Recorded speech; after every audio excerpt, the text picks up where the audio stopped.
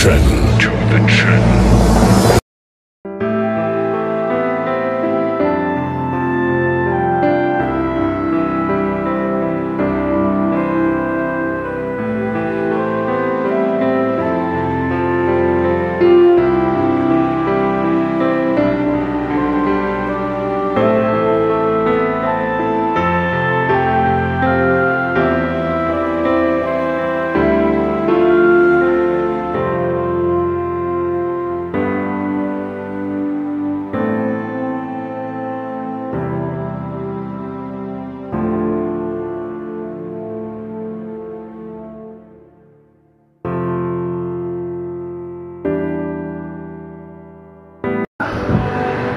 Introduce traditional jamu medicine from Indonesia for world citizens.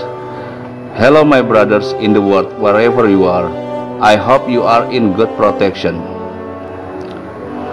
Pharmacy comes from the Greek word pharmakon which means poison or medicine. Pharmacy includes activities in the areas of discovery, development, production, processing, dispensing, drug information and drug distribution. With the development of the times and the health science, the problem is processing drugs are become increasingly complicated both because of the formula and the way the drugs are made. Therefore, it takes someone who can deepen expertise in the manufacture and dispensing of drugs. So what? In 1240 BC, the German king Frederick realized this and gave the order to officially separate medicine and pharmacy. This commandment is now known as the Two Sales Decree. Allow me to convey to citizens of the world through the Humanology channel about the history of our medicine in the archipelago which in now Indonesia. Referring to the primary data of the Karma Wibanga and Madawipura inscription in the Borobudur temple. Our people have separate between the practitioner of medicine that we call in the Karma Wibanga inscription is Dukun and medicine consumption which we call Jamu in Madapura inscription which currently receiving an award from UNESCO for all the struggle so far. Maybe it has not been recorded in the history of world medicine at this time.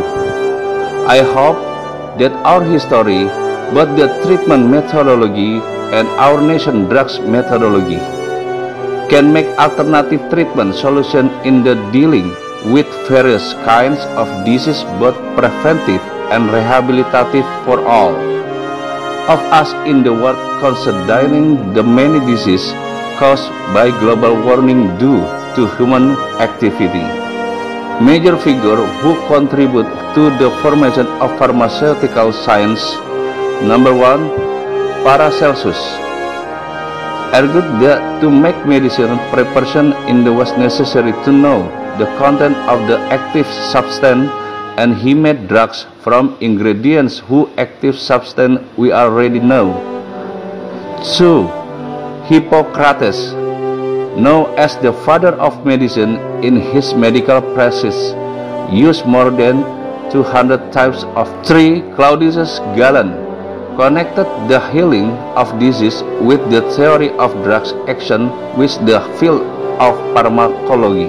4. Ibn Sina has written several books of method of collecting and storing medicinal plants and how to make medicinal preparations such as pill, suppositories, syrup and combined medical knowledge from various countries, namely Greece, India, Persia, and Arabia to produce medicine better.